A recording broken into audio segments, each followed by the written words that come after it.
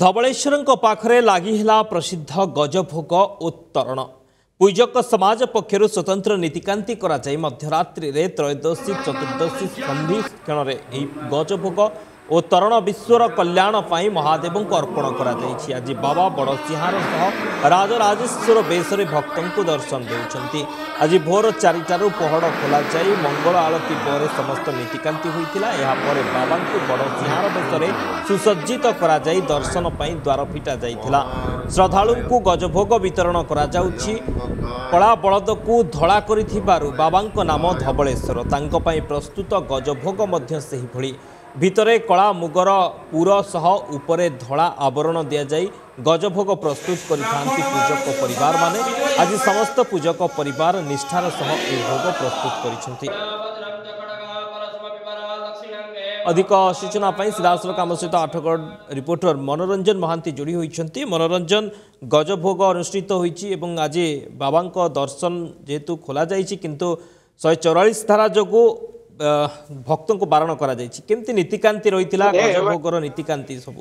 ହଁ ଦେଖନ୍ତୁ ଶକ୍ତି ଯଦି କହିବା ସବୁ ପ୍ରତି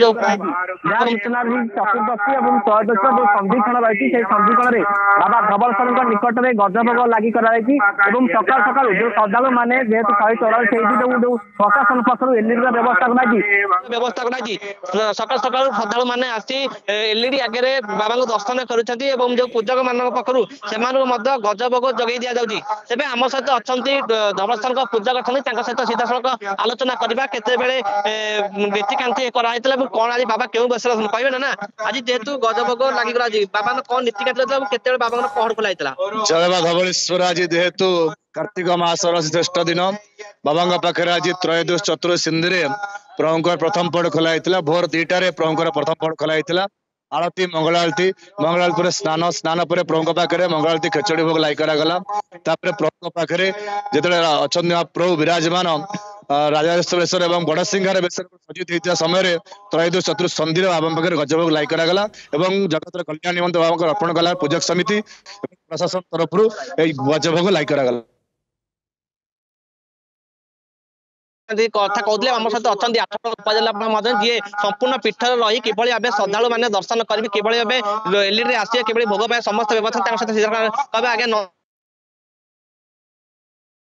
ମାନଙ୍କୁ ବ୍ୟବସ୍ଥା କରାଯାଇଛି ପ୍ରଶାସନ ପକ୍ଷରୁ ଜୟ ବାବା ଧବଳେଶ୍ୱର ଆପଣମାନଙ୍କ ମାଧ୍ୟମରେ ମୁଁ ପ୍ରଥମେ ସମସ୍ତ ଦର୍ଶକଙ୍କୁ ନମସ୍କାର ଜଣାଇବି ନମସ୍କାର। ଜଣାଇବି।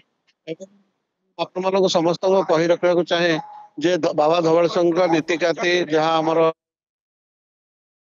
ସେ କହୁଥିଲେ ସେଇଭଳି ଭାବରେ ସମ୍ପନ୍ନ ହେଇଛି ଏବଂ ସମସ୍ତ ଭକ୍ତମାନଙ୍କ ନିମନ୍ତେ ସ- ଗଜଭୋଗ ବି ପ୍ରସ୍ତୁତ ହେଇକି ରହିଛି ସବୁ ନନା ମାନେ ତାଙ୍କର ଗ- ଗଜଭୋଗ କରିକି ରଖିଛନ୍ତି ଏବଂ ଯେମିତି ପାରମ୍ପରିକ ରୀତିରେ ସବୁ ଭକ୍ତମାନେ ଆସି ନନା ମାନଙ୍କ ବସା ଘରୁ ଭ- ଗଜଭୋଗ ନଉଥିଲେ ପୀଠ ଭିତରେ ଏପଟେ ସେମିତି ନନା ମାନେ ତାଙ୍କର ନିଜ ଘରେ ଗଜଭୋଗ ପ୍ରସ୍ତୁତ କରିଛନ୍ତି ଏବଂ ସବୁ ଭକ୍ତମାନେ ଆସି ଯେମିତି ଗଜଭୋଗ ନିଅନ୍ତି ଲାଗି ସେମିତି ହୋଇଛି ନେଇପାରିବେ। ବାବା ଧବଳେଶ୍ୱରଙ୍କୁ ଏବଂ ଏ ଭୋଗ ମଧ୍ୟ ଭକ୍ତମାନେ ପାଉଛନ୍ତି ବହୁତ ବହୁତ ଧନ୍ୟବାଦ ମନୋରଞ୍ଜନ ସମସ୍ତ ସୂଚନା ପାଇଁ ମନୋରଞ୍ଜନ ମହାନ୍ତି ଥିଲେ ଆଠଗଡ଼ ରିପୋର୍ଟର ଆମକୁ ଅଧିକ ସୂଚନା ଦେଉଥିଲେ